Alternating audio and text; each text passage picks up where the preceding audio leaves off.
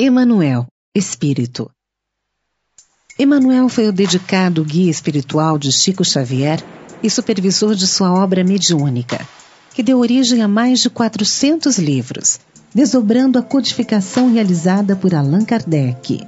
Nesta obra literária, tornou-se o autor de maior produção, escrevendo 113 valiosos livros, sendo sete em parceria, e participou de dezenas de obras de autores diversos, com belas páginas evangélico-doutrinárias, prefaciando a maioria delas.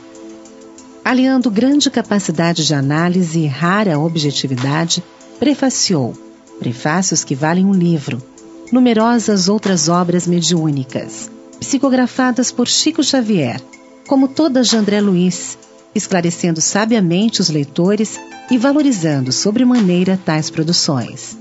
De sua autoria, destacamos os romances históricos, as obras que analisam tópicos do Novo Testamento e da codificação kardeciana, história da civilização vista do mais além, estudo do tríplice aspecto do Espiritismo e dois livros de cunho científico. Do seu passado espiritual, sabemos que nos últimos 20 séculos ele reencarnou várias vezes.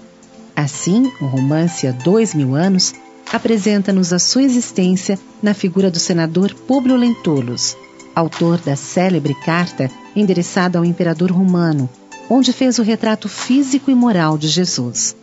E em 50 anos depois a Nestório, o escravo judeu de Éfeso, que teve a felicidade de conhecer o evangelista João, tornando-se um cristão atuante nas catacumbas de Roma. Posteriormente, Emanuel vinculou-se de coração ao Brasil, a partir do século XVI, na figura do Padre Manuel da Nóbrega, 1517-1570, primeiro apóstolo do Evangelho em nossa pátria.